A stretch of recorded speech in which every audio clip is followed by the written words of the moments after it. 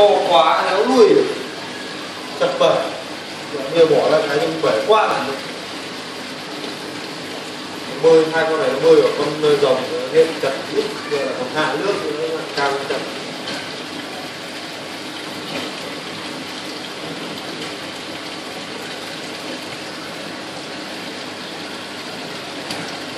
Đem